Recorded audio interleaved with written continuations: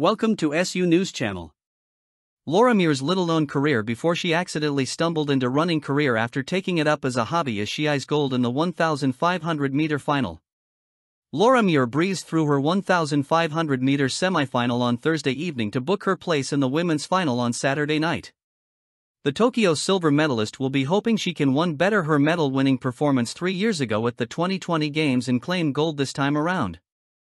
This will be 31 year old's third Olympic Games, but unlike the majority of the athletes taking part in Paris, being an Olympian, never mind an Olympic champion, was never something the Scot aspired to be.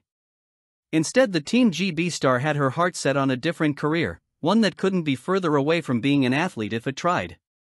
But it was that very dream that actually made her stumble into running and re-find her passion for the sport. Growing up, the British athlete's heart was set on becoming a vet, she even achieved the feat, graduating with a veterinary degree in June 2018.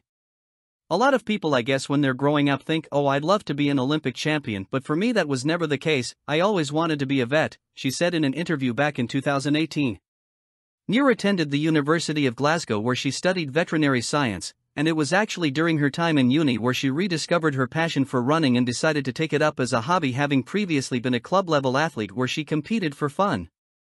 She took up the sport once again in Glasgow for the same reason, as well as it being a way for her to escape from her intensive studies for a little while. However, soon Muir wasn't just competing for the thrill of it all, instead, she became serious about the sport, and her after lecture hobbies soon turned into something bigger. Muir's incredible U turn to return to the sport and get serious about it was largely due to the facilities and coaching staff which was on hand at the university. It wasn't until I went to university and I changed my coach and the setup and all my training sessions that I made a very big progression very quickly, and that was really when I thought professional athlete could actually be something I could do as a career as well. The rest well is written.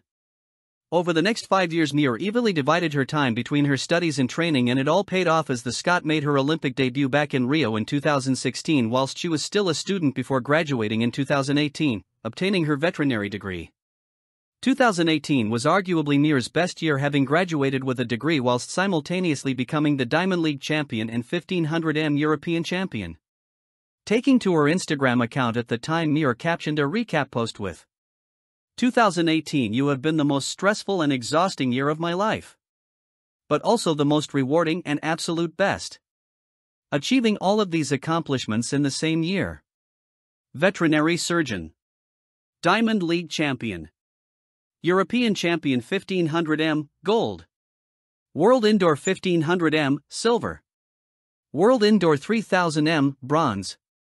During her time as a trainee vet, Muir spent a lot of the time where she wasn't studying or running working on farms to practice her newly acquired skills.